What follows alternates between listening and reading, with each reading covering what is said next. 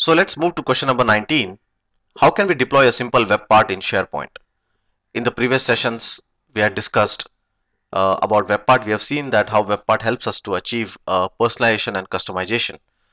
Now what we'll do is that uh, in this session, we will deploy a simple web part, a simple label web part uh, on a SharePoint page and see that uh, what are the various steps involved to do the same. So definitely the first step is to create the web part and as we had previously mentioned that web part is nothing but it's a simple class. So what I've done is that I have made a simple class called a simple label web part.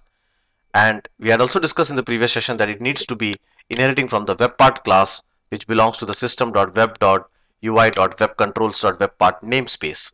So here's my simple class simple label web part inheriting from web part and and I have imported the necessary namespaces in the class.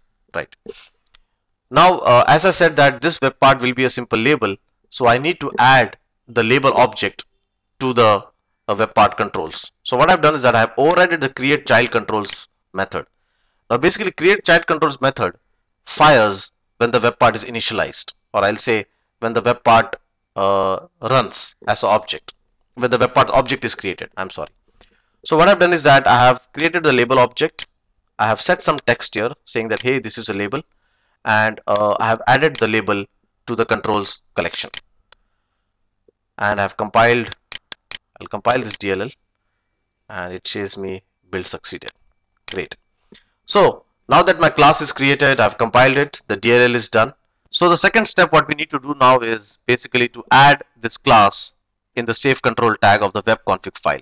So that's our second step what we need to do. We need to go to the web config file and add safe entry tag so here's my web config file. My project currently or my website currently is hosted on CINET pub www wss virtual directories 80. You need to find out that where exactly you are hosting your SharePoint site and then edit the same config file of the virtual directory. Right. Now safe control says that okay it's safe to run this control in the SharePoint runtime. So basically I have added a safe control uh, tag here. I have added assembly uh, name of the of my web part. So at this moment it is class library webpart.cs and I have added the namespace which is the same as the assembly name. That's my namespace name class library webpart and same you can see here and I also have added my class name. So that's that's what we need to do. We need to add the web web.con we need to add the safe control entry in the web config file. So that's our second step. So moving to step number three, we need to copy the DLL in the virtual directory of the bin folder. So basically at this moment our virtual directory is 80 virtual uh, c inet pub www wss virtual directory 80 slash bin and I've copied the DLL class library webpart.dll in that directory. The fourth step is we need to go to the webpart gallery and populate the gallery. Okay, so now that we have made a uh, made an entry uh, into the uh, web config file. We have copied the DLL in the virtual directory. Now it's time to take the web part DLL or take the web part inside our SharePoint page. So let's go to a site. Click on site settings. Click on web parts. Click on new. And you can see that your web part is displayed here in the gallery. Now what you need to do is you need to select and say populate the gallery. With this action what happens is basically this web part gets included in your web part gallery. Now you can see that there are some web parts over here which have been already been included and these are SharePoint web parts and here's our web part simple web part dot web part. So this is simple label web part dot web part. Now this is our web part basically which the custom web part which we are imported in the web part, uh, in the in the web part gallery right? And the final step we need to add the web part to the SharePoint site pages.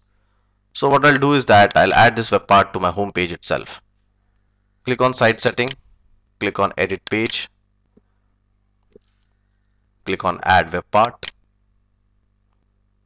And you can see your web part here simple label web part selected add it you can see that your web part is added here. Now you can edit this web part. At this moment you are in the edit mode of the page.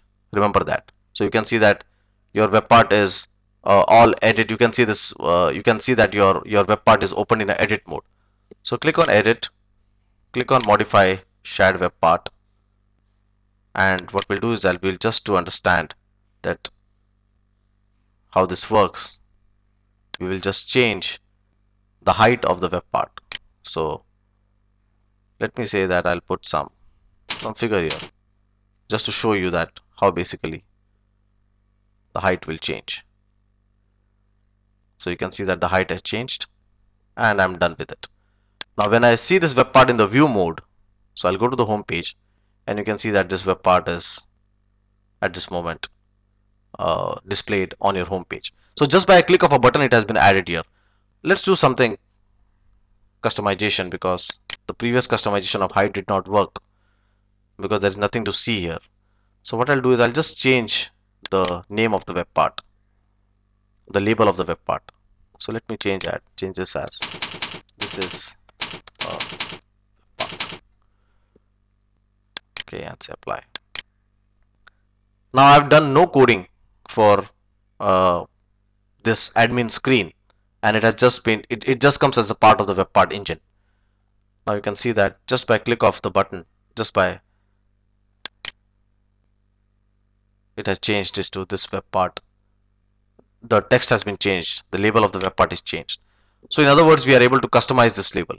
Definitely we can do much more than that because we have not added any custom property in the web part we have just taken whatever default properties given by web part so in the coming session we will see that how we can add custom properties and see that how uh, we can change the behavior of the web part and give more control to the more control to the user to do customization and uh, personalization.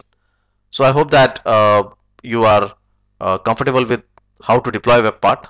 Basically just the point to remember is that you need to remember these five steps. Create the web part. That's what we have done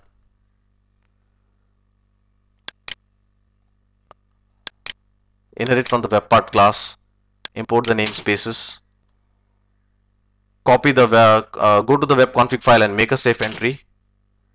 So that's what we have done as a second step.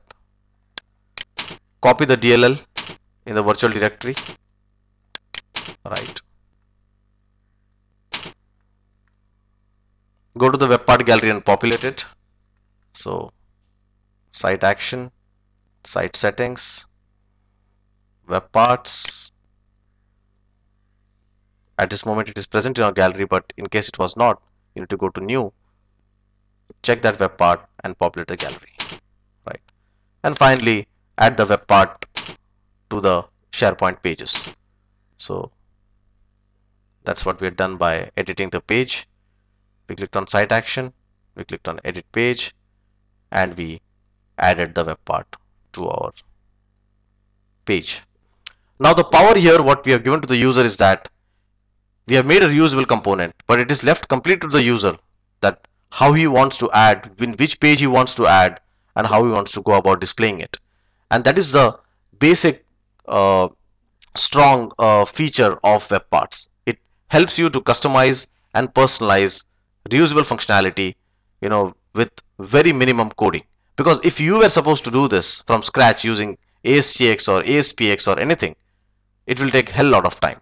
But here because of the reusable framework of web parts it becomes very easy to uh, give customization and personalization feature to the user uh, in a very easy fashion